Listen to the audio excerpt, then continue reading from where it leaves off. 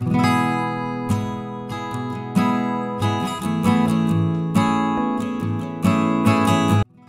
magandang araw sa ating lahat mga ka-members. Ang pag-usapan natin today ang tungkol sa housing loan ng SSS. Okay? So, extended ito.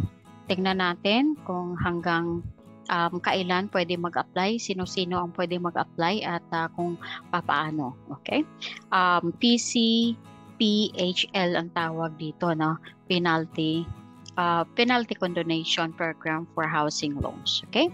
Alright, so before natin pag-usapan yan, pakisuyang i-subscribe, like, share, and click the notification bell para updated ka sa lahat ng mga video uploads natin.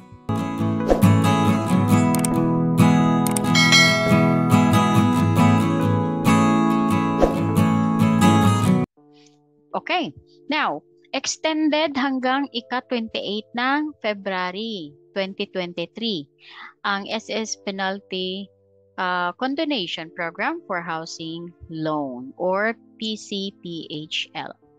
Now, sino-sino ang po pwede dito? No? Eligible applicants. Alright. Now, ito ay para sa lahat ng SSS housing loan borrowers, duly designated successors um, in interest legal years na may past due housing loan obligations kahit na ang mga original or previously restructured term na nag-expire na o housing loan borrowers na ang property ay na foreclose at sumailalim sa share um, auction sale sa SSS bilang winning bidder at hindi pa na-irehistro ang certificate of sale sa ilalim ng mga sumusunod na housing loan programs. Okay? So ito to. Ito ito. Direct Individual Housing Loan Program kabilang ang duplex housing loan accounts. Pangalawa, Direct Housing Loan Facility for Overseas Filipino Workers, okay, or Workers Organization members, okay, WOMS. Okay. Now, past due, ang housing loan ay delinquent or hindi nabayaran sa loob ng anim na buwan o higit pa sa araw ng pag-file ng aplikasyon para sa PCP HL. Okay? So, tandaan natin, ito yung mga sino-sinong po pwede nito. Okay? Alright. Payment term. So, papaano babayaran to? Maaring bayaran ng housing loan obligations pamagitan ng one-time payment.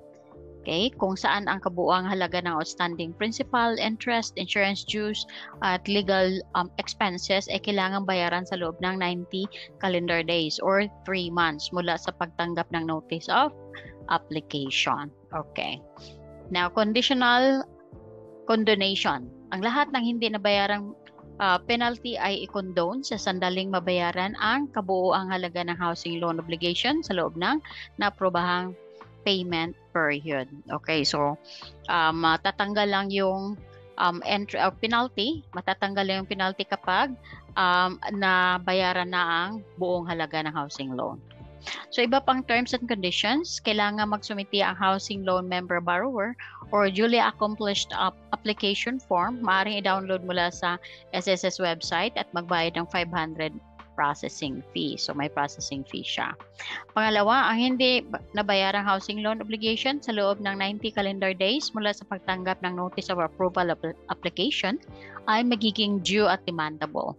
Ano ang partial payment na is nagawa sa loob ng 90-day period ay ituturing na regular payment. Okay?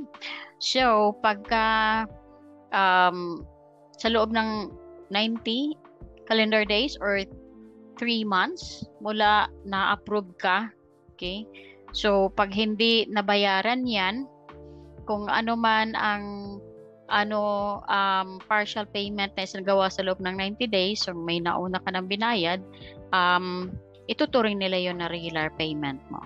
Alright? Okay, so maaari isumiti ang application sa pinakamalapit na Housing and Acquired Assets Management Section or HAAMS offices or sa Housing and Acquired Assets Management Department sa 12th floor um, SSS main building East Avenue Diliman, Quezon City. Okay.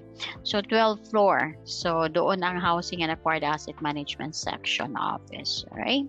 Now, uh, para sa mga detalye, basahin lang ang circular 2022-026 sa pag-scan ng uh, QR code na ito. Pag na-scan mo ito, i-scan mo siya, um, andun makikita mo yung circular ng SSS. Okay? Now, if you still have questions, all right, um, i-comment mo yan sa uh, section, comment section ng ating video. Okay? So, hope nakatulong itong ating um, update natin sa housing loan na magtatapos ngayong 28 ng February uh, sa lahat ng may, merong mga delinquent na uh, housing loan. Okay? All right, so have a wonderful day and stay safe everyone.